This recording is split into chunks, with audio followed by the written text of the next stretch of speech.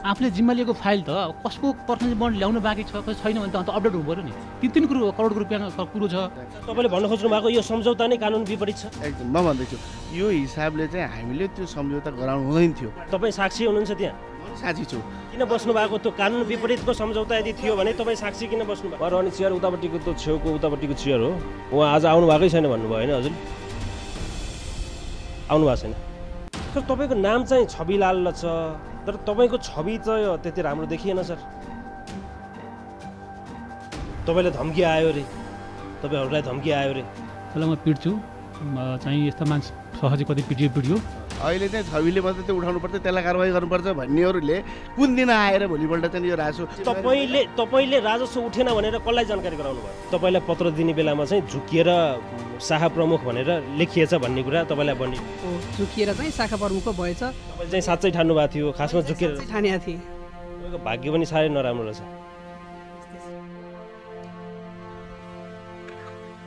म यहाँहरूमाथि नै शङ्का गर्न चाहन्छु। तपाईँले कतिपय सन्दर्भमा कतिपय चिजहरू तपाईँले लुकाउनुहुन्छ। लुकाउनका लागि छानबिन समिति बनायो होइन नि? देखाउनका लागि हो। पत्र काट्नु भइन्छ मौखिक कसलाई भन्नुभएको? सम्झौता रद्दै गरौँ त भनेन त्यो बेलामा किन भन्नु भएन? राजस्व नआइसके पछाडि तपाईँले राजस्व रद्द गरौँ भनेन मैले। होइन यो दोषी मेरो भागमा म कति पर्छु म ठिक छ। ल ठिक छ ल ठिक छ। जयराम पौडेल त्रिहत्तर लाख मात्रै आएको राजस्वलाई नब्बे लाख आयो भनेर सम्झौता ठोकियो यो कुरा सत्य हो कि? सत्य हो। छविलालको छवि रामघाटले नपखालोस्। यो नामै घाट रहेछ मान्छेलाई त्यहीँ लाने ठाउँ रहेछ तर यो घाटमा चाहिँ जोगिएर धेरै काम गर्नुपर्ने रहेछ। नमस्कार गण्डकी छड्केमा स्वागत छ। मेरो नाम अपिल त्रिपाठी हो। लकडाउन र कोरोना सङ्क्रमणको जोखिमका कारण अनिश्चित समयको लागि स्थगित गरिएको गण्डकी छड्केको प्रसारणलाई आजकै दिनबाट सुचारू गरेका छौँ। उही पुरानै दिन र पुरानै समयमा। आज पोखरा महानगरपालिकाको एउटा लफडाको विषय छ। आज मात्र होइन पोखरा महानगरपालिकाका केही व्यतिथिहरूलाई निरन्तर रूपमा कार्यक्रममा प्रस्तुत गर्ने हामीले तयारी गरेका छौँ। पोखरा महानगरपालिका र एउटा कम्पनी बीच गएको वर्षको कार्तिकको पच्चिस गते एउटा ठेक्का सम्झौता हुन्छ। पोखरा रामघाटबाट ढुङ्गागिटी बालुवा उत्खनन गर्ने नाममा। सम्झौता अनुसार उक्त कम्पनीले महानगरपालिकालाई जम्मा छ करोड पैँसठी लाख रुपियाँ राजस्व बुझाउनु पर्ने हुन्छ। सम्झौता भएको बखतमा केही रकम नगद दाखिला गरिन्छ केही रकम ब्याङ्क ग्यारेन्टी गरिन्छ र सम्झौता भएको मितिले दुई हप्ताभित्रमा तिन करोड पाँच लाख पचास हजार रुपियाँ कम्पनीले महानगरपालिकालाई बुझाउने भनेर सम्झौता गरिन्छ। सम्झौता यति मात्र हुँदैन। यदि कम्पनीले नबुझाएमा अघिल्लो पटक गरिएको ब्याङ्क ग्यारेन्टी जफत गरी सम्झौता नै रद्द गर्ने भनेर स्पष्टसँग लेखिन्छ तर त्यो रकम आजसम्म महानगरपालिकामा आएको छैन बुझाइएको छैन। महानगरपालिकाले उक्त सम्झौता रद्द पनि गरेको छैन। गजबको कुरा त के छ भने यो सब भइरहँदाखेरि महानगरपालिकाका जिम्मेवार कर्मचारी राजस्व उठाउने जिम्मेवार कर्मचारीले सम्बन्धित कम्पनीलाई राजस्व बुझाऊ भनेर एक पटक पनि पत्र काटेका छैनन् एक पटक पनि ताकेता गरेका छैनन्।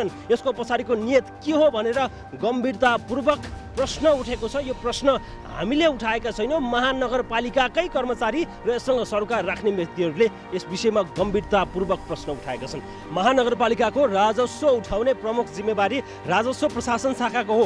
त्यस शाखामध्ये पनि शाखाका प्रमुखको पहिलो जिम्मेवारी हो। त्यस समयमा राजस्व प्रशासन शाखाका प्रमुख छविलाल शर्मा नाम गरेका कर्मचारी थिए। विषय रामघाटसँग मात्रै सम्बन्धित छैन। अर्को एउटा ठेक्काको सम्झौता हुन्छ जुन सम्झौता एक करोड बयासी लाख रुपियाँको हुन्छ। जसमध्येमा नब्बे लाख रुपियाँ सम्झौताकै बखत नगद दाखिला गरियो भनेर भनिन्छ तर खासमा नब्बे लाख दाखिला भएकै हुँदैन। खासमा भएको हुन्छ मात्र त्रिहत्तर लाख। एघार लाखको त चेक बााउन्स नै हुन्छ तर पनि नब्बे लाख बुझाइयो भनेर कर्मचारीले सम्झौता ठोकिदिन्छन्। एघार लाखको चेक बााउन्स नै हुँदाखेरि पनि त्यो एघार लाख रुपियाँ उठाउनको लागि कर्मचारीले कुनै पहल गर्दैनन्। बााउन्स चेकलाई घर्राभित्र थुनेर राखिदिन्छन्। छविलाल शर्माकै कारण तत्कालीन राजस्व शाखाका प्रमुख छविलाल शर्माकै कारण तिन करोड पाँच लाख पचास हजार रुपियाँको राजस्व उच्च जोखिममा रहेको र उनको बदनियत स्पष्टसँग देखिएको भन्दै महानगरकै एकजना कर्मचारीले ती छविलाल शर्मालाई तत्काल कारवाही गर्नुपर्ने माग गर्दै निवेदन समेत हालेका छन्।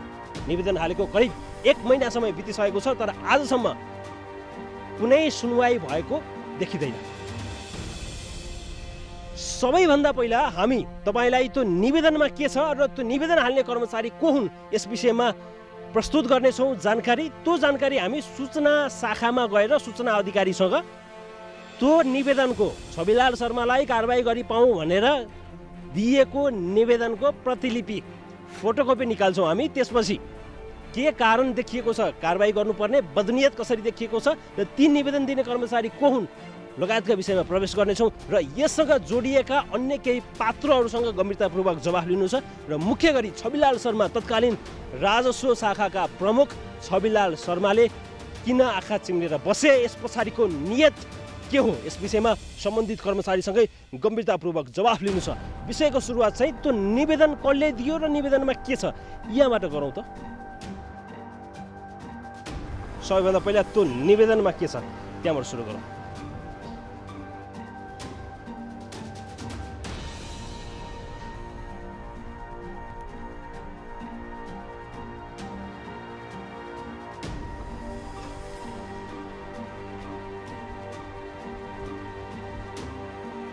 दर्शक फाइनली मैले सूचना अधिकारीबाट यो निवेदन प्राप्त गरेको छु। दुई महिना तेइस गति यो निवेदन दर्ता भएको छ। यो निवेदन दिने कर्मचारीको नाम जय राम पौडेल उपसचिव लेखा।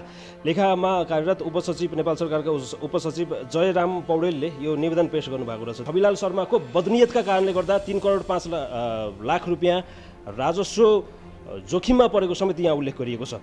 अर्को एउटा यस्तै घाटको सम्झौतामा नब्बे लाख रुपियाँ राजस्व दाखिला गरिएको भनेर भनिन्छ तर त्रिहत्तर लाख मात्रै राजस्व दाखिला भएको देखिन्छ र एघार लाखको त बााउन्स चेक नै हुन्छ। त्यो बााउन्स चेक यहाँका कर्मचारीले आफ्नो घरमा राखेर बस्छन्। सबैभन्दा पहिला यो निवेदन पेश गर्ने जयराम पौडेललाई म भेट्छु जाउँ।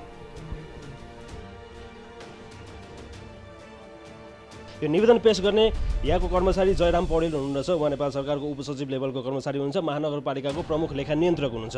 उहाँले छविलाल शर्मालाई कारवाही गर्नुपर्ने उहाँको नियत बदनियतपूर्ण देखिएको ले तिन करोड पाँच लाख रुपियाँ बराबरको राजस्व जोखिममा परेको यसको जिम्मेवार तत्कालीन राजस्व शाखाका प्रमुख छविलाल शर्मा भएको हुनाले उहाँलाई नियमअनुसार कानुन बमोजिम कारवाही गर्नुपर्ने भनेर उहाँले निवेदन नै चढाउनु भएको रहेछ। यो निवेदन चढाएको लगभग एक महिना हुन लागिसकेको छ। त्यसपछि के भयो भन्ने विषयमा त हामी एकछिनमा छलफल गरौँला सर नमस्ते स्वागत छ। धन्यवाद। निवेदन तपाईँले हो नि पेस गरेको किन हो सर? अब यो कार्यालयको एउटा जिम्मेवार अधिकृत म पनि हुँ होइन? त्यो बेलामा जुन ठेक्का सम्झौता भएको छ त्यो ठेक्का सम्झौतामा एउटा शर्त महानगरपालिकाको निर्णय अनुसार नै। अब त्यो जुन टोटल ठेक्का मलाई लाग्छ छ करोड पैँसठी लाखको थियो।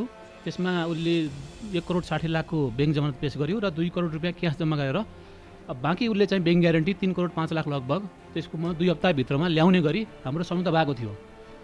त्यो बिचमा चाहिँ अब दुई हप्ताभित्र उसको ब्याङ्क ग्यारेन्टी नआएमा ठेक्का रद्द गरी नयाँ प्रक्रिया जाने भन्ने पनि त्यहाँ थियो। र त्यो सम्झौतामा म आफू साँच्ची पनि बसेको होइन? र त्यो साँच्ची बस्दासम्म ठिक छ। त्यसपछि अब उसले ब्याङ्क ल्यायो ल्याएन भन्ने कुरो अब मलाई जानकारी भएन। होइन त्यो समिति राजस्व शाखाको अब प्रमुखको हिसाबले छविलाल शर्माको जिम्मेवारीको कुरा थियो किनभने सबै कुरा हामीलाई थाहा पनि हुँदैन। सबै यहाँ धेरै कुरा सही गरिन्छ साँचीहरूमा अरू पनि गरिन्छ।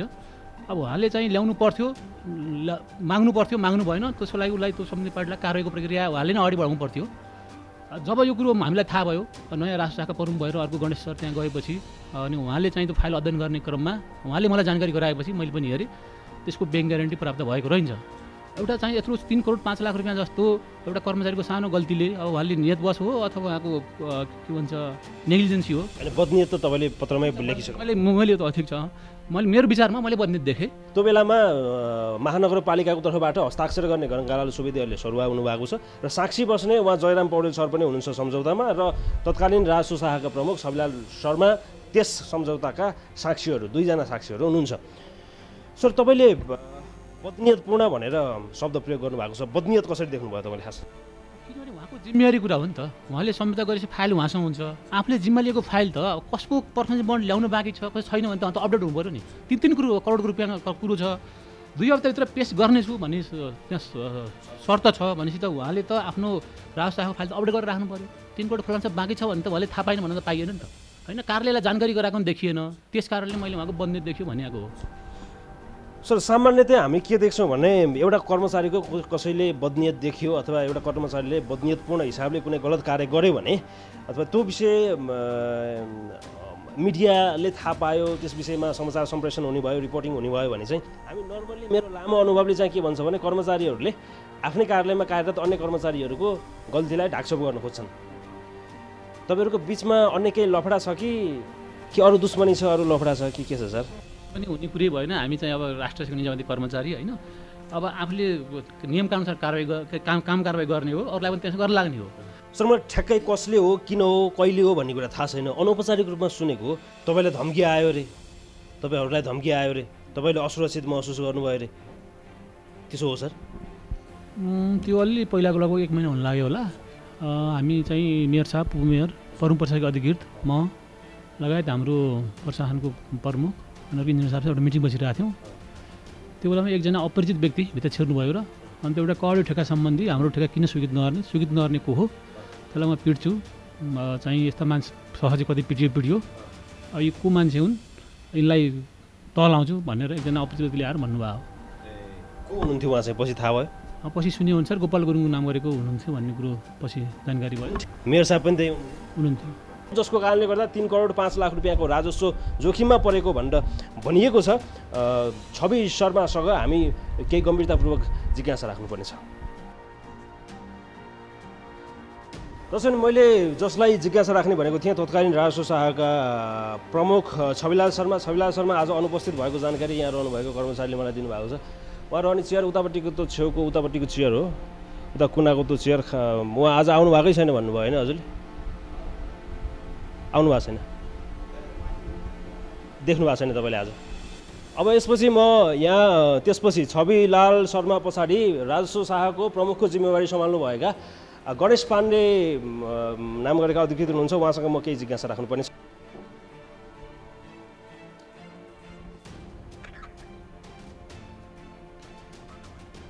राजस्व शाखाका प्रमुख गणेश पाण्डेसँग म यति बेला आइपुगेको छु। गणेश पाण्डे त्यो बेलामा नै जुन बेलामा यो सम्झौता भएको थियो अथवा जुन बेलामा यो रकम तिन करोड पाँच लाख पचास हजार रुपियाँ राजी कन्स्ट्रक्सनबाट महानगरपालिकाले लिनुपर्ने थियो त्यो रकम लिनै पर्ने बेलामा नै उहाँ प्रमुख हुनुहुन्थ्यो भनेर मैले सुनेको हुनाले केही मानिसहरूले मलाई भनेको हुनाले यस विषयमा के हो भन्ने कुरा म उहाँसँग बुझ्न चाहन्छु। अरू विषय उहाँसँग बुझ्नुपर्ने खास केही छैन। सर नमस्ते स्वागत छ। नमस्कार। तपाईँ अहिले पक्का यहाँको प्रमुख हो? यो शाखाको प्रमुख? यो चाहिँ पक्का नै हो। हजुर यसमा शङ्का छैन? छैन। कहिलेदेखि शङ्का हुन छोड्यो तपाईँ पक्का हो भने यो चाहिँ सायद माघको अन्तिमबाट। अन्तिमबाट। तपाईँ यो शाखामा कहिले आउनुभयो? यो शाखामा चाहिँ भदौबाट आएको थियो भदौबाट आउनुभयो। भदौमा चाहिँ तपाईँ के भनेर आउनुभएको थियो? तपाईँको यो जिम्मेवारी के थियो यहाँ? खास भदौमा चाहिँ मलाई यो ब्याङ्कहरूको रिकन्सिलेसन गर्ने भनेर ल्याइएको थियो। त्यति बेला त्यति बेला चाहिँ अब चिठी दिने बेलामा प्रमुख चाहिँ दिएको थियो।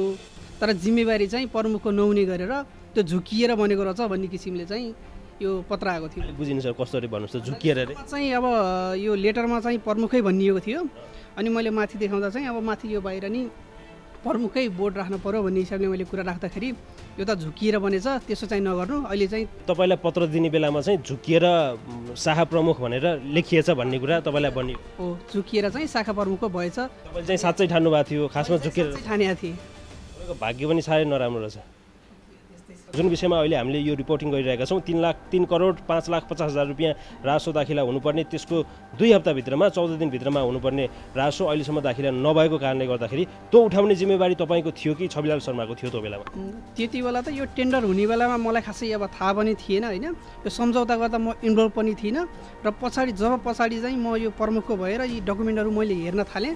त्यसपछि मात्र थाहा भयो कि यो सम्झौता यसरी गरिएको रहेछ र सम्झौता गरे बमोजिम ब्याङ्क ग्यारेन्टी पनि आएको रहेनछ भन्ने थाहा पाएर मैले इन्फर्म गरेपछि मात्र अरू बाहिर चाहिँ थाहा भएको त्यो चाहिँ फेरि राजस्व परामर्श समितिको यो मिटिङहरूबाट नि प्रमाणित हुन्छ कि म त्यति बेला शाखा प्रमुखको जिम्मेवारी सम्हालेको थिइनँ भन्ने कुरो। तपाईँले चाहिँ व्यावहारिक रूपमा यहाँको शाखा प्रमुखको जिम्मेवारी लिनुभन्दा अगाडिसम्म कुनै ताकेता भएको पत्राचार गरिएको रकम बुझाउनुहोस् भनेर आधिकारिक पत्र पठाइएको त्यस्तो केही छ कि छैन? त्यस्तो प्रमाणहरू केही पनि छैन। जसको यहाँ अर्को एउटा विषय के छ भने यो रामघाटको राजस्वको कुरा मात्र छैन। अर्को एउटा घाट पनि छ जुन एउटा प्याकेजमा सम्झौता गरिएको थियो। यो ढापघाट दस्केत घाट तुलसिरा घाट पुरनचौर अ, नयाँ घाट लगायतको यो घाटहरूको चाहिँ त्यो बेलामा एक करोड बयासी लाख पचपन्न हजार आठ सय पचहत्तर कबुल गर्ने गरे आरजे आरजे आरजे कन्स्ट्रक्सनले त्यो आरजे कन्स्ट्रक्सनसँग महानगरपालिकाको सम्झौता भएको थियो। त्यसमा सुरुमा नब्बे लाख पचपन्न हजार यो हजारको कुरा छोडिदिउँ अहिले लाख करोडको मात्रै गरौँ न। नब्बे लाख समथिङ रकम चाहिँ दाखिला भयो भनेर सम्झौता गरियो। नब्बे लाख रकम दाखिला भइसक्यो।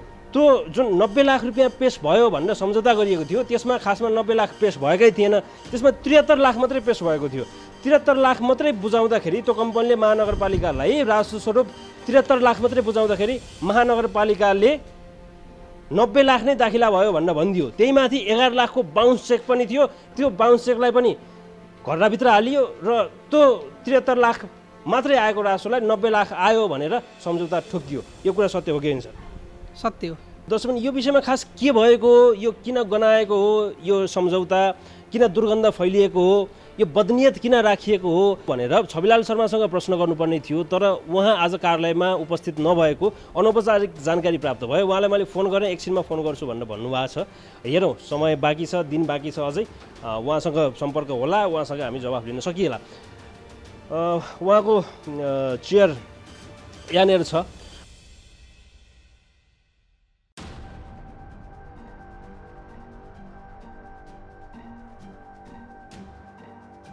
दर्शक मसँग यति बेला हुनुहुन्छ पोखरा महानगरपालिकाका प्रवक्ता। पोखरा महानगरपालिका वार्ड नम्बर पाँचका वडाध्यक्ष र यो लफडा महानगरमा सुरु भइसके पछाडि यो लफडाको विषयमा खास के भएको हो भनेर बुझ्नको लागि छानबिन गर्नको लागि गठित समितिको संयोजक धनबहादुर नेपाली सर नमस्ते स्वागत। धन्यवाद नमस्ते। तपाईँ संयोजक भएको समिति गठन भएको गएको महिनाको उनातिस गते रहेछ। बिस दिन करिब भइसकेको छ। एकदमै महत्त्वपूर्ण विषय छ। महानगरको तिन करोड पाँच लाख पचास हजार रुपियाँ राजस्व धरापमा परेको छ। एकजना कर्मचारीको बदनियत हो भनेर महानगरकै कर्मचारीले भनेका छन्। बिस दिनसम्म तपाईँहरूले के गर्नुभयो सर? यति सामान्य कुरा त मैले त बिस मिनटमा लगभग देखेँ सर यहाँनिर। बिस दिन के गर्नुभयो सर? पहिलो कुरा त यहाँले जुन बिस दिनको कुरा गर्नुभएको छ यहाँलाई थाहा नै छ हामी यो पोखरा महानगरपालिकाको सातौँ नगरसभा लाई व्यवस्थित बनाउने सफल बनाउने काममा हामी सबै व्यस्तताले गर्दाखेरि समय लाग्यो। व्यस्तता रह्यो हो। अझै हामीसँग पाँच दिन बाँकी छ र हामीले दुईवटा बैठक यस विषयमा बसिसकेका छौँ। एउटा मात्रै सन्दर्भ भएन अरू धेरै सन्दर्भ पनि भएको हुनाले हामीले त्यो सम्झौताका फाइलहरू सम्झौता हुँदाका रेकर्डहरू सबै हेरिरहेका छौँ र हामी निरन्तर यो काममा लागिरहेका छौँ। अब केही दिनमा हामीले बाहिर ल्याउँछौँ। तपाईँले ल्याउनुहुन्छ बाहिर? पक्कै ल्याउँछौँ नि। त्यहाँ भएको कमी कमजोरीहरूको बारेमा त हामीले त्यहाँ जे देख्यो नि त्यो विषयमा आएका कुराहरू कसका कमजोरीबाट भयो त्यो कुरा बाहिर ल्याउँछौँ। ल्याउनै पर्ने हुन्छ। प्रतिवेदन हामीले तयार गर्छौँ। त्यो महानगरपालिका नेतृत्वमा दिन्छौँ। एउटा। तपाईँहरू जो छानबिन समितिमा संयोजक र सदस्यहरू जति सहभागी हुनुहुन्छ म यहाँहरूमाथि नै शङ्का गर्न चाहन्छु। यो विषयमा यस्ता विषयहरूमा तपाईँले कतिपय सन्दर्भमा कतिपय चिजहरू तपाईँले लुकाउनुहुन्छ थाहा भएका कुराहरू यसरी लुकाइन्छ भनेर तपाईँहरूले कसरत गर्नुहुन्छ भनेर म यहाँहरूलाई मलाई चाहिँ यहाँहरूमाथि नै शङ्का छ। आम प्रवृत्तिको रूपमा तपाईँले यो विषय उल्काउनु भएको होला। हामी लुकाएकोलाई देखाउन आएको हो। हामी लुकाएकोलाई देखाउनु पर्ने जिम्मेवारीमा छौँ। हामीले लुकाउनु पर्ने कुराको जरुरी छैन। लुकाउनका लागि छानबिन समिति बनाएको होइन नि? देखाउनका लागि हो। त्यो जिम्मेवारी हामी पुरा गर्छौँ। अहिले यस सन्दर्भमा चाहिँ ठोस तपाईँले भन्न सक्ने कुरा केही छ कि छैन? रामघाटको सन्दर्भमा छविलाल शर्माको बदनियत अथवा उहाँको नियत के हो भन्ने सन्दर्भमा तपाईँले अहिले भन्न सक्ने कुरा छ कि छैन? नत्र अहिले हामीले भन्न सक्ने कुरा के हो भने छानबिन समिति बनेको छ।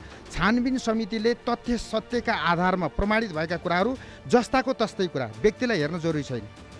अथवा सम्झौता गर्ने पार्टीले हेर्न जरुरी छैन।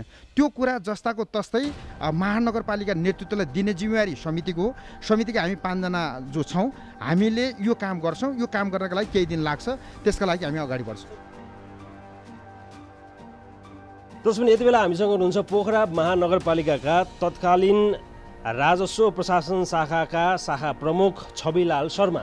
छविलाल शर्माको कारणले गर्दा तिन करोड पाँच लाख पचास हजारको राजस्व जोखिममा भएको बदनियतपूर्ण उहाँले कार्य गरेको भनेर हामीले बताइरहेका छैनौँ। महानगरपालिकाका जिम्मेवार उपसचिव लेभलका कर्मचारीले बताएका मात्र छैनन् कारवाही गर्नुपर्दछ भनेर आफ्ना हाकिमलाई निवेदन समेत दिएका छन्। हामी आजै उहाँलाई भेट्छौँ कि भेट्दैनौँ भन्ने भइरहेको थियो। फाइनली हामीले उहाँलाई आज भेट्यौँ। अघि हामी आउँदाखेरि चाहिँ उहाँलाई भेटिएको थिएन उहाँ कतै बाहिर निस्किनु भएको होला। त्यसपछि उहाँलाई सम्पर्क पनि गऱ्यौँ एकछिनमा फोन गर्छु भन्नुभएको थियो। छवि सर नमस्ते स्वागत छ नमस्कार। अघि हामी आउँदाखेरि कोर्ट मात्रै दर्शन पाइयो तपाईँको तपाईँ कार्यालयमा हुनुहुन्न भन्ने खालको जानकारी तपाईँको शाखामा कार्यरत साथीहरूले दिनुभयो। कता हुनुहुन्थ्यो सर? खास तपाईँ विधामा हो कि के हो आज चाहिँ? म एउटा आफ्नो एउटा काम जरुरी काम थियो। एकैछिन बाहिर गएको थिएँ तपाईँहरू अलि अगाडि आउनुभएको छ अहिले आइपुगेको छु। सर तपाईँको नाम चाहिँ छविलाल छ तर तपाईँको छवि त त्यति राम्रो देखिएन सर। छवि नराम्रो नदेख्ने छविको छ छवि सधैँ राम्रो छ छविले सधैँ राम्रो काम गर्छ। सर तपाईँको कारणले गर्दा तिन करोड पाँच लाख पचास हजारको राजस्व उच्च जोखिममा परेको छ। तपाईँले जिम्मेवारी लिएको शाखा त्यो शाखाले ताकेता गर्नुपर्ने। सम्झौता गरेको राजी कन्स्ट्रक्सनसँग सम्झौता भएको मितिले चौध दिनभित्रमा बाँकी रहेको तिन करोड पचास लाख नगद लिनुपर्ने र ब्याङ्क ग्यारेन्टी लिनुपर्ने भनेर गरिएको सम्झौताको एकचोटि सरले हेर्नु भएको छैन बिर्सिनु भयो भने म फेरि यहाँनिर यो बुदा म पढेर सुनाउन चाहन्छु। होइन सर एकचोटि भन्छु। बाँकी ब्याङ्क ग्यारेन्टी रु तिन लाख तिन करोड पाँच लाख पचास हजार आजको मितिले भनेको सम्झौता भएको मितिले दुई हप्ताभित्र दाखिला गर्ने। दाखिला नभएमा यो सम्झौता रद्द गरी ब्याङ्क ग्यारेन्टी जफत गर्ने। एउटा पत्र काट्नुभयो सर तपाईँले? यसको लागि चाहिँ प्रयत्न चाहिँ धेरै भएका छन्। पत्र पनि नकाटेको होइन काट्ने भएका छन्। तर उहाँहरू चाहिँ सम्पर्कमा पटक आउनु भएको छैन। तर तपाईँले उठाउनु भएको कुरो तिन करोड पाँच लाखको कुरो जुन छ त्यो इम्पोर्टेन्ट कुरो छ। तर यो सम्झौता तपाईँले मैले गर्दा चाहिँ राजस्व चाहिँ अहिलेसम्म आएन प्राप्त भएन भन्ने दोष तपाईँले मलाई दिनुभएको छ। यो चाहिँ मेरो व्यक्तिगत कारणले र मैले मात्रै मैले मैले मैले तपाईँलाई दोष दिएको होइन सर। तपाईँलाई दोष त हेर्नुहोस् यहाँ। तपाईँलाई दोष यहाँ उपसचिव लेभलको कर्मचारीले तपाईँलाई भन्नुभएको छ तपाईँको नियत बदनियतपूर्ण छ भनेर यो कागजमा यो हेर्नु भएको छ सर। ल हेर्नुहोस् एकचोटि। कसैले यो बदले पूर्ण रूपमा चाहिँ मलाई आरोप लगाउनु भएको छ त्यो आरोपको बारेमा म के के खण्डन गर्न चाहन्छु भने पहिलो कुरो हामीले सम्झौता गर्दा कुनै आर्थिक ऐनमा नभएको होइन? कुनै प्रक्रिया यसरी चाहिँ उधारो सम्झौता गर्नुपर्ने प्रावधान पनि छैन। त्यो सबै गराउनको निम्ति त्यो उधारो सम्झौता गराउनुको निम्ति मलाई चाहिँ धेरै पटक कुराहरू भए उनीहरूको चाहिँ निवेदन आइरहेको छ म पछि ल्याउँछु यो सम्झौता गराइदिनुहोस् भनेर चाहिँ उनीहरूले पटक पटक चाहिँ धेरै ठाउँमा अनुरोध पनि गरेका रहेछन् तर मैले चाहिँ त्यो निवेदन प्राप्त भएको नि उनीहरूले चाहिँ मैले पन्ध्र सोह्र दिन सत्र अठार दिनसम्म मैले चाहिँ तपाईँले भन्नु खोज्नु भएको यो सम्झौता नै कानुन विपरीत छ? एकदम म भन्दैछु यो हिसाबले चाहिँ हामीले त्यो सम्झौता गराउनु हुँदैन थियो त्यस्तो सम्झौता गराउनु हुँदैन थियो। तपाईँ साक्षी हुनुहुन्छ त्यहाँ? साक्षी छु। किन बस्नु भएको त्यो कानुन विपरीतको सम्झौता यदि थियो भने तपाईँ साक्षी किन बस्नु भएको अनि म भन्दैछु तर सबैले सबैले मैले मात्रै होइन सबैले यहाँका चाहिँ नि उहाँ जुन मलाई चाहिँ कारवाही गर्नुपर्छ भन्ने उपसचिवज्यू अनि त्यसपछि मेयर उपमेयर अनि त्यो बेलाको चाहिँ प्रमुख प्रशासकीय अधिकारी सबैले होइन उहाँले तिर्नुहुन्छ अहिले चाहिँ यो गराइदिउँ भनेर एउटा काज बनाउनुहोस् टिप्पणी के के लेख्नुपर्छ लेख्नुहोस् त्यसमा हामीले चाहिँ सदर गर्छौँ अनि त्यो अनुसार उहाँले पन्ध्र बिस दिनमा दिनमा तिर्नुहुन्छ यो गरौँ भनेर सबैको सल्लाहले यो गरेको काम हो। यो कुरा एउटा कुरा एउटा कुरा माने माने मार तपाईँलाई नि सजिलो मैले मात्रै त्यो रिस्क लिएर मैले मात्रै सही गरेर त्यो अम्किने कुरो पनि थिएन। सबैले गरौँ भने गरेको तर यो दोष अब कसैले म माथि लाउँछन् भने त्यो त्यो डकुमेन्ट चाहिँ तिनीहरूले नि सही गरेका छन् तिनीहरूले नि पढेका छन् बुझेका छन्। त्यो डकुमेन्ट त अझ शिव सर र उहाँ बसेर बनाएका छन् दुईजनाले। म यहाँ अर्को काम गर्दै थिएँ। उहाँले सही गरेपछि मैले गरेँ आज। बुझ्नुभयो? त्यस कारणले कसैले आरोप लाउँदैमा त्यस्तो मैले नि तिनीहरूलाई आरोप लाएर म जान्न। तर कानुनी प्रक्रियामा चाहिँ त्यो सम्झौता त्यसरी गर्नु हुँदैन। ठिक छ मैले माने तपाईँले भनेको कुरा सोह्रै सही हो। त्यो सम्झौता कानुन विपरीत छ। त्यो कानुन विपरीत गरिएको सम्झौता हो। त्यस्तो उधारो सम्झौता गर्नु हुँदै थिएन। माने? तर त्यो राजस्व तिन करोड पाँच लाख पचास हजार रुपियाँ दुई हप्ताभित्रमा असुल्ने भन्ने थियो। त्यो पैसा असुल्न नसकेपछि त्यो ठेक्का सम्झौता रद्द गर्न तपाईँले तपाईँको लेभलबाट नहुने काम हो भने पैसा आएन भनेपछि तपाईँले यो ठेक्का सम्झौता रद्द गरियोस् राजस्व आएन भनेर कहाँ कसलाई पत्र लेख्नुभयो तपाईँले? हो त्यस बारेमा चाहिँ कस्तो छ भने अब यहाँ तपाईँले भनेको मैले पत्र लेख्नु पर्थ्यो। पत्र लेख्नु पर्थ्यो। त्यो बेला चाहिँ यो कामको चाप अब सबैतिरको अलिकति धेरै कामको चापले गर्दाखेरि उनीहरूसँग कन्ट्याक्ट त भइरहेको पत्र चाहिँ म काट्दैछु तुरुन्तै आउ आउनु भन्दा भोलि भोलि आउँछु आउँछु भन्दा उनीहरूले हामीलाई टारेकै अब तपाईँ कस्तो खालको काममा व्यस्त हुनुहुन्छ? एकछिन सर एकछिन तपाईँ कस्तो खालको काममा व्यस्त हुनुहुन्छ? तपाईँ राजस्व प्रशासन शाखाको प्रमुखको जिम्मेवारीले तपाईँ राजस्व असुल गर्ने मुख्य जिम्मेवारी तपाईँको हो। यो घाट भनेको महानगरको सम्भवतः सबैभन्दा ठुलो राजस्व आउने घाट होला। तिन करोड पाँच लाख रुपियाँ भनेको सानो कुरा होइन सर त्यो बिर्सने कुरा होइन नभ्याउने कुरा होइन सर। तपाईँको पहिलो प्राथमिकतामा पर्नुपर्ने विषय यो हो। तपाईँ कहाँ बोल्नुहुन्छ र तपाईँलाई फुर्सद हुँदैन यस्तो काममा? एकदमै हो। यो जिम्मेवारी म मात्रै होइन। तपाईँले भनेको चाहिँ मेरो मात्रै थिएन। उधारो सही गर्नेहरू त्यहाँका जिम्मेवार अधिकारीहरूले पनि उधारो सही गरेको छ। छवि कसो भयो भनेर कहिले मोनिटर गरे तिनीहरूले तिनीहरूले नि जिम्मेवारी लिनु पऱ्यो नि सही गरेपछि म मात्रै एक्लो त होइन। उधारो सही गराउने बेला चाहिँ सबैले सहमति गरेर गराउने। अहिले चाहिँ छविले मात्रै त्यो उठाउनु पर्छ त्यसलाई कारवाही गर्नुपर्छ भन्नेहरूले कुन दिन आएर भोलिपल्ट चाहिँ यो राजस्व उठायो उठाएन कति गरे मोनिटर गर्ने त्यसलाई नि वाजको निम्ति तपाईँले तपाईँले राजस्व उठेन भनेर कसलाई जानकारी गराउनु भयो? राजस्व पाइन भनेर त चाहिँ तपाईँले कसलाई जानकारी गराउनु भयो? तपाईँले जानकारी गराएपछि नै थाहा हुने होला नि त। नत्र साक्षी बसेका एग्रिमेन्ट गरेकाको सबको राजस्व आयो कि आएन भनेर यहाँ आएर दिनदिनै हेरेर बस्ने कुरा त होइन। त्यो बेला चाहिँ मैले जानकारी प्रमुख प्रशासक अधिकृतज्यूलाई उहाँलाई मैले त्यो कुरो चाहिँ गरिराखेको थिएँ तपाईँले त सिफारिस पनि गर्नुभयो होला नि राजस्व आएन भनेपछि यो ठेक्का रद्द गरौँ भनेर सिफारिस पनि गर्नुभयो होला। र अर्को कुरो उनीहरूको हामी कहाँ पैसा आउँछ? उनीहरूको चाहिँ त्यो पैसाको कुरा आउँछ आउँदैन म एकछिनमा गर्छु सर। मेरो प्रश्नको जवाफ दिनुहोस् मेरो सम्झ प्रश्न त होइन। त्यो सम्झौता कानुन विपरीत छ ठिक छ। तपाईँ सबै सहमति भएपछि तपाईँलाई पनि सहमत हुनुभयो। त्यो पनि ठिक छ। तपाईँ नभ्याएको कारणले गर्दाखेरि पत्र काट्न पाउनु भएन रासो ल्याऊ भनेर पत्र काट्न पाउनु भएन ताकेता गर्नु भ्याउनु भएन तर फोनमा तपाईँले भन्नुभएको थियो त्यो पनि ठिक छ। तर यत्रो समयसम्म आएन भनेपछि ठेक्का सम्झौता रद्द गर्नु पर्यो भनेर तपाईँले कसलाई भन्नुभयो कसलाई पत्र काट्नुभयो र ती मान्छेले किन रद्द गरेनन् अथवा ती मान्छे को हुन् जसलाई तपाईँ भन्नुभयो? यस सम्बन्धमा के भन्छु भने म चाहिँ भदौदेखि भदौ बिस गतेदेखि यो शाखाको प्रमुख छैन। त्यो बेला चाहिँ मले चाहिँ काम गरेर आएको हुनाले चाहिँ स- सहयोग गरिदिए भनेर म भन्दैछु। एक एक मिनट गर्दैछु। त्यो बेला अनि मैले चाहिँ नि त्यो बेला जुन यो चाहिँ कार्तिकको पच्चिस गते सम्झौता भएको छ। कार्तिक सम्झौता भएर अनि यता अघि बढेको छ।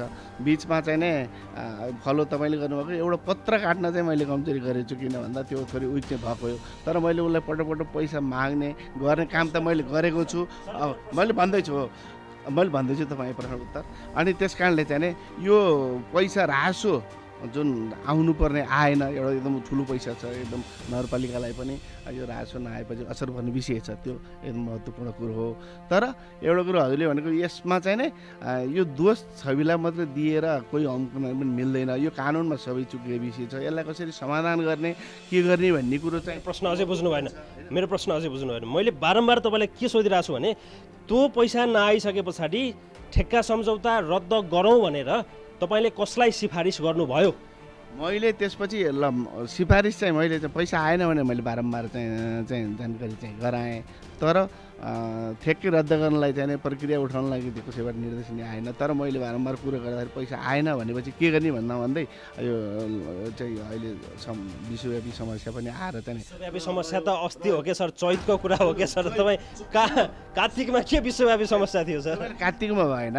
कार्तिकको कुरो एउटा भयो कार्तिकमा सम्झौता गर्छ। मक्सिर पुस माघ फाउन चैत वैशाख जेठ असार उसले चलाउनु पर्ने आठ महिनाको टाइम थियो होइन?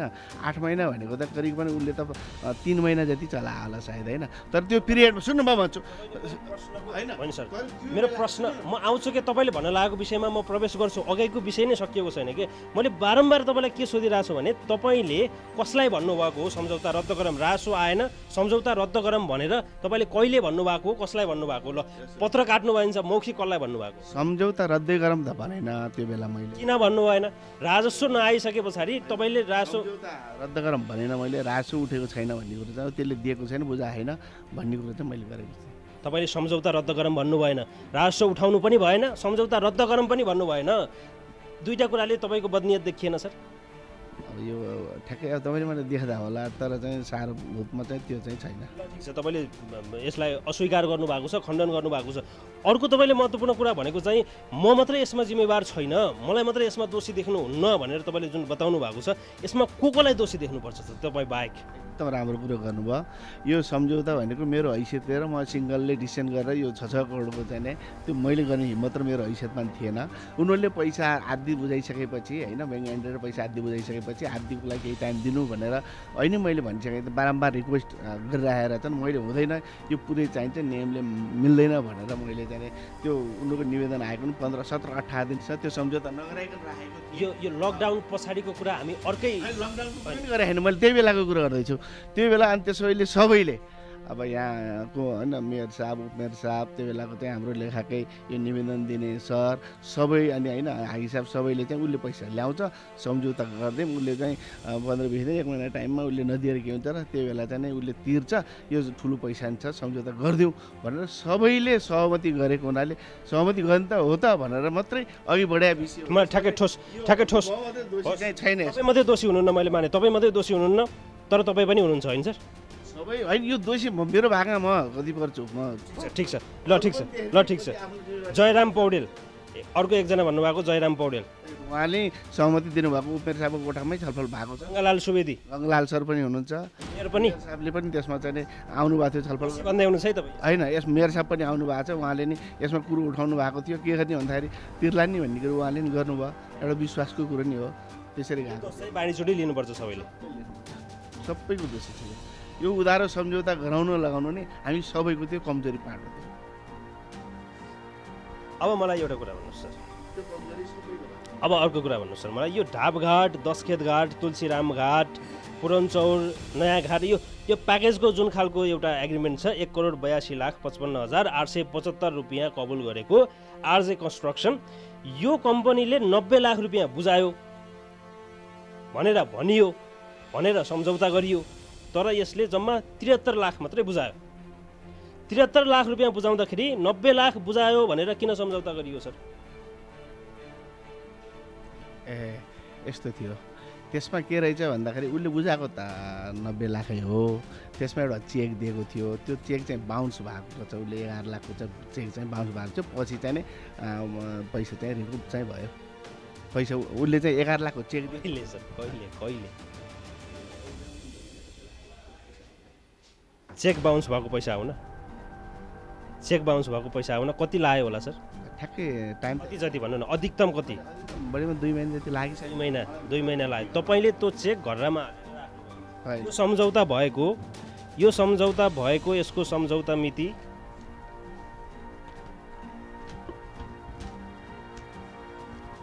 यसको सम्झौता मिति असोज पन्ध्र गते। असोज पन्ध्र गते। तपाईँको भनाइअनुसार कार्तिक मङ्सिर पन्ध्रभित्रमा त्यो चेकको बााउन्स भएको चेकको रकम आएको छ त्यो ठ्याक्कै एक्ज्याक्ट त मिति भएन तर पछि चाहिँ आएको छ। सर तपाईँले त्यो चेक तपाईँको नियतमाथि मैले प्रश्न गर्न खोजेको हो। सर यो पैसा आयो कि आएन भनेर एकछिनमा कुरा गरौँ ल सरकारी निकायलाई बााउन्स चेक दिने कम्पनीलाई तपाईँले केही पनि गर्नु भएन त्यो चेक घरमा राख्नुभयो। यहाँ तपाईँको जिम्मेवारी पछि गणेश पाण्डे भन्ने अधिकृत आएपछि त्यो चेक बााउन्स छ भन्ने कुरा त्यसपछि मात्रै थाहा भयो। र हिजो अस्ति मात्रै सम्भवतः एक डेढ महिना भयो होला आएको। आएको पैसा पेमेन्ट भएको आएको चाहिँ एक डेढ महिना भयो होला। त्यो पेमेन्ट आएको चाहिँ तपाईँको पहलले होइन। त्यो चेक बााउन्स भएर त्यसलाई भित्र राखिएको चाहिँ तपाईँको पहलले हो। त्यो चेकको पेमेन्ट भएको चाहिँ तपाईँको पहलले होइन सर? यस्तो थियो। त्यो बााउन्स भएको चेक चाहिँ के थियो भने मैले घरमा राखेको थिएन। उसको पैसा आइसकेपछि मैले थुतेर उसलाई दिनुपर्छ। यो अब भनेर चाहिँ मैले चाहिँ राखेको थिएँ। पैसा आइसकेपछि मैले उसलाई फिर्ता दिएको। मैले कुनै त्यो चेक घरमा चेक बााउन्स भयो यो यो रकम दाखिला गर भनेर तपाईँले भन्नुभयो पत्र काट्नुभयो? एउटा कुरो तपाईँले मलाई अहिले प्रश्न गर्नुभएको छ नि राजको असुलले गर्ने जिम्मा मेरो। मैले उसको जसरी असुल गर्छु र म राजको जसरी दाखिला गर्छु भने मैले गराएँ त्यो पैसा चाहिँ अनि मैले उसको बााउन्स भएको चाहिँ फिर्ता दिएँ के अरे हामीलाई दिएको चेक चाहिँ मैले फिर्ता दिएँ पैसा असुल गरिसकेपछि सबै आफ्नो अनुकूलतामा कहिले मेरो जिम्मेवारी हो रासो जिम्मेवारी असुल गर्ने जिम्मेवारी मेरो हो जसरी पनि गर्छु भनेर गरेँ भनेर भन्नुहुन्छ। अब तपाईँको। तपाईँको यो रामघाटको पनि तपाईँको यही तपाईँकै भनाइलाई तपाईँकै भनाइलाई तपाईँको तपाईँकै जिम्मेवारी हो अब गर्नुहोस् न त त्यसो भए गर्नुहोस् अब। अब त्यसको पनि मैले रामघाटको कुरो नि के हुन्छ भने उसको उसको नगरपालिकालाई तिर्नुपर्ने राजस्व जति छ। त्यसको चाहिँ हामी त्यसबाट चाहिँ जसरी असुल गर्छौँ त्यसको चाहिँ हामी चाहिँ ग्यारेन्टी भइसकेका छौँ उसको चाहिँ पैसा आउँछ त्यो राजस्व असुल चाहिँ हामी गर्छौँ। काम सकियो काम गर्ने टाइम सकियो। होला अब उसले लकडाउनको समयमा सबै काम गर्न पाएन कम्पनीले अब त्यस कारणले महानगरपालिकाको कार्यपालिका बैठकले निर्णय गरेर केही सहुलियत दिने भन्ने कुरा अर्को पाटो भयो। अर्को पाटो भयो। त्यो रकम आइसके पछाडि त्यो असुल उपर भइसके पछाडि। उसको चाहिँ हामीलाई नगरपालिकालाई तिर्नुपर्ने राजस्वको बारेमा हामीसँग सेक्युरिटी छ। त्यस कारण सेक्युरिटी के सेक्युरिटी छ? उसको ब्याङ्क ग्यारेन्टी छ। कतिको ब्याङ्क ग्यारेन्टी हामीलाई नगरपालिकालाई बुझाउनु पर्ने राजस्वको बारेमा पुग्ने राज ब्याङ्क ग्यारेन्टी छैन।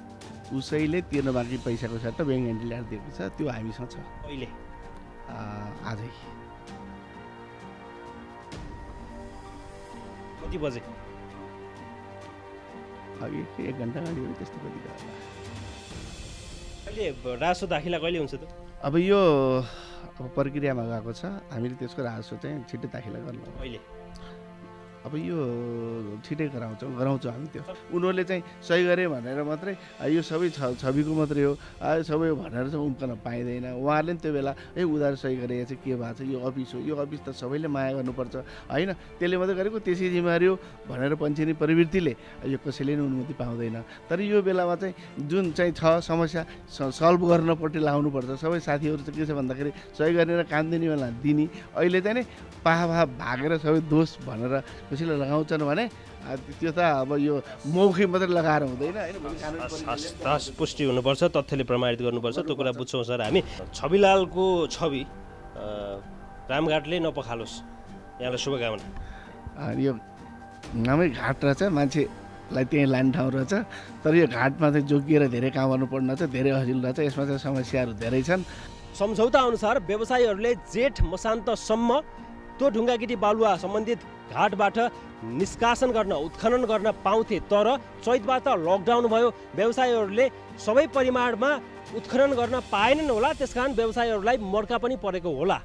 यदि त्यसो हो भने कानुन बमोजिम महानगरपालिकाको कार्यपालिका बैठकले निर्णय गराएर व्यवसायीहरूलाई सहुलियत दिने कुरा गर्न सक्छ त्यसलाई हामी सम्मान गर्दछौँ। तर यदि व्यवसायीले जति उत्खनन गर्नुपर्ने हो त्यो परिमाण उत्खनन नगर्दै लकडाउन भएको भए त्यो यदि तथ्यले प्रमाणित गर्दछ र कार्यपालिकाले कार्यपालिका बैठकले सहुलियत दिन जरुरी ठान्दछ र त्यसलाई कुनै नियम कानुनले छेक्दैन भने व्यवसायीलाई सहुलियत दिनको लागि पनि हामी आग्रह गर्न चाहन्छौँ। तर त्यो सबै प्रक्रिया भनेको राजस्व दाखिला भइसकेपछि नि त होला। गण्डकी सड्के आजको लागि यति नै। अबको हाम्रो अर्को हप्ताको कार्यक्रम हेर्न नभुल्नुहोला गण्डकी टेलिभिजन हेर्दै गर्नुहोस्। म लगायत सम्पूर्ण टिमलाई बिदा दिनुहोस्। नमस्कार।